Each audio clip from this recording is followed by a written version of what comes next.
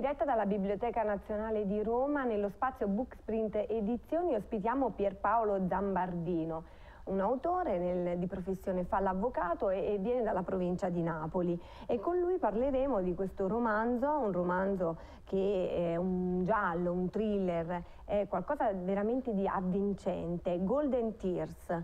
Pierpaolo, benvenuto. Salve a tutti, salve a tutti. Allora, parliamo di questo romanzo, uh, Lacrime d'oro, un, un, titolo che già intriga molto e che sicuramente appunto è attinente al romanzo. Sì, che nas nasconde tutto un, un, programma.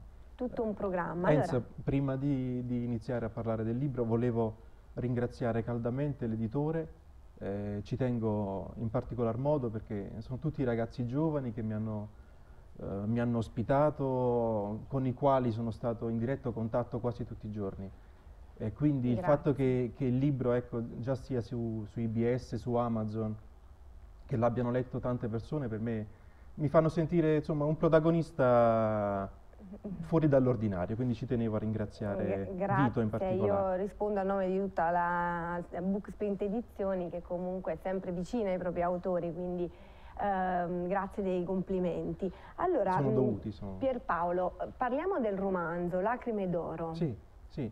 Allora, l'idea mi è venuta uh, così di notte, co come al solito, uh, non riesco a dormire quindi. Uh, cosa succederebbe se la mattina ci svegliassimo e, e trovassimo del, dei filamenti d'oro che sgorgano dai, dai condotti lacrimali? Che cosa faremmo? Uh, cercheremo di togliere queste, queste, lamine e di andarle a vendere dal, uh, dal, gioielliere, cercheremo di guadagnarci qualcosa. Credo che nessuno abbia mai scritto una cosa del genere, io leggo tantissimo già da, da quando avevo 12 anni, quindi, quindi ho pensato a questo. E come però poi inserire questo Come aspetto? inserirlo, sì, è vero. Eh, perché poi ho pensato il fenomeno doveva essere spontaneo o indotto, indotto uh, da, da qualcuno. E ho pensato a, ad un genio. Ecco, un genio che proviene da, da Pompei, che di professione fa, fa l'idraulico, che però è un genio della matematica, è, è della biochimica ed è anche un alchimista.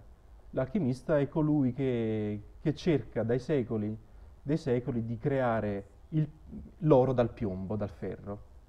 E lui ci riesce sfruttando il suo corpo. E quindi giustamente poi l'idraulico si vede ogni mattina con quest'oro eh, e quindi che fa? Lo va a vendere? Eh, lui tenta di, di, lucrare innanzitutto e, e va dal gioielliere, eh, uscendo ogni volta con, uh, con, dei portafogli pieni di soldi. Soltanto che, che, stando, risiedendo nella provincia di Napoli, a Pompei, eh, viene adocchiato dalla Camorra. Mm. Dalla Camorra che una sera, di, una, una sera lo porta dietro ad una viuzza insomma, della strada principale e gli chiede conto dell'oro dell'oro, dei dove soldi, lo prende, dove, dove lo, prende, eh, perché lo filmano.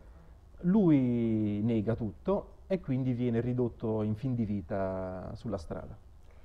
Ecco, e da lì poi inizia eh, l'avventura perché si apre come un'altra storia. Si apre un'altra storia ed ecco l'altra mia fonte principale. Eh, molte persone non lo sanno, però nel mondo esiste un'associazione internazionale che si chiama il Mensa. Il Mensa è è quella, quell'associazione che riunisce le persone più intelligenti del mondo.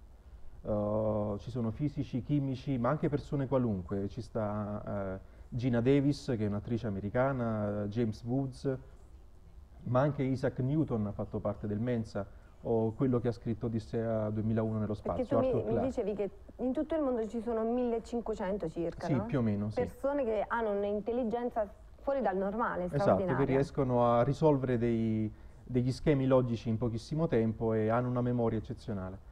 E quindi vengono uh, individuati?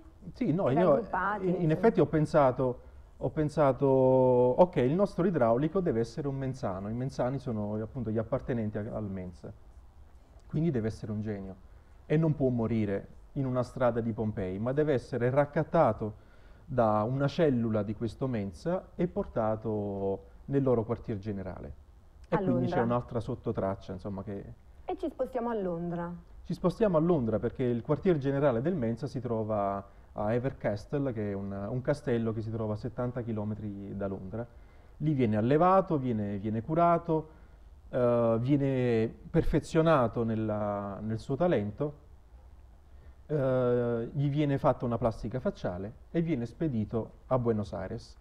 Quindi partia, insomma, iniziamo da Pompei, passiamo cambia per Londra. Cambia esatto. identità sia fisica che anagrafica e quindi mh, riparte, parte per Buenos Aires e lì poi si apre tutta un'altra storia. Si apre un'altra storia, lui diventa Riccardo Estevez, conosciuto come un plurimilionario, un multimiliardario che fa opere benefiche e si scopre durante insomma, le pagine del libro che qualcuno vuole attentare alla sua vita, alla vita sua e di sua moglie. Sembra facile, insomma, la storia sembra semplice, ma no, in è un treno in corsa. È, è un treno in corsa Sì. che ehm, diciamo, riusciamo a capire man mano che appunto co- continuiamo a leggere e a sfogliare le pagine, perché in realtà, ad esempio, la storia parte da Buenos Aires, giusto? La storia parte da Buenos Aires, eh, dove troviamo questo Riccardo Estevez che è- sta per morire, in effetti, è, in punto di morte e, e quindi viene organizzato un funerale,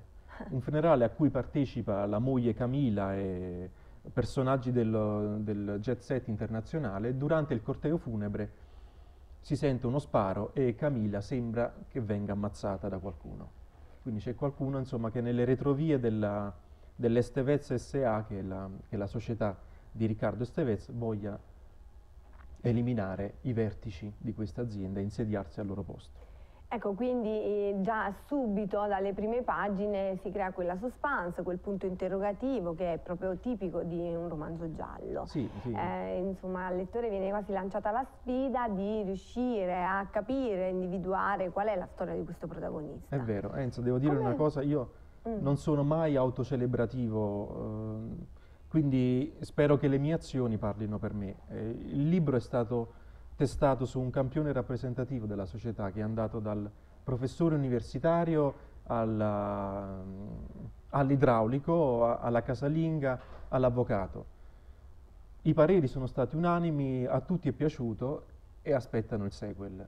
E quindi Eh. spe- spero che vada bene. Quindi devi trovare anche il tempo per scrivere poi il secondo. Che non è facile, con due bambini Col lavoro. e col lavoro è un po' difficile. Quanto il però- tuo lavoro eh, ti ha in in qualche modo suggerito la, la trama o comunque eh, aperto all'immaginazione? No, il, il mestiere di avvocato c'entra poco. Io sono un divoratore di libri dall'adolescenza, quindi ho imparato a leggere e ho imparato a scrivere, eh, perché chi legge di solito sa anche scrivere eh, insomma, abbastanza bene. La scuola, insomma, dai padri scolopi, è stato tutto un mix che poi mi ha consentito di avere la mente libera di, di avvicinarmi alla scrittura. Quanto tempo hai impiegato per scrivere il romanzo? Sei mesi. Sei mesi eh, per un paio d'ore dal giorno. L'ho scritto, devo dire la verità, c'è stato, quando l'ho fatto leggere all'editore, c'è stato un commento entusiasta del, del vostro correttore di bozze che mi ha dato una, una linfa, una fiducia tale perché non l'aveva, insomma, non- volevo che lo leggesse qualcuno del mestiere. E il vostro correttore, di cui purtroppo non conosco il nome, mi ha fatto una recensione entusiastica e insomma mi dà fiducia, mi dà fiducia per il futuro. Ecco, ehm, indubbiamente il primo, quindi eh, ci sono un po' di, come dire, incertezze. Incertezza, ma anche di aspettative, perché se continua così sarei ben invogliato ad, ad andare avanti e a stupire i lettori. Che cosa rappresenta per te la scrittura? Un'evasione dalla realtà, un riportare pezzi della realtà? Ma entrambi, perché eh, il libro può rappresentare bene uno spaccato della vita quotidiana, ma può essere anche un'evasione dalla realtà. E mai come in questo momento è una realtà un po', un po' tragica, insomma, visti gli ultimi avvenimenti francesi che ci hanno colpito. Quindi entrambe le cose.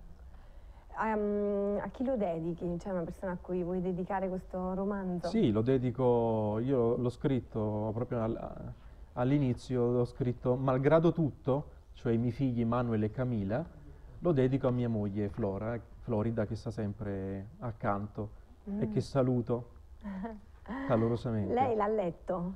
Sì, lei, lei l'ha letto, ma è stata la seconda persona a leggerla, perché la prima persona si trova qui in sala del mio collaboratore che, sta, che mi sta sorridendo da dietro le quinte. Da dietro le quinte, ecco, che cosa sì. hanno detto loro?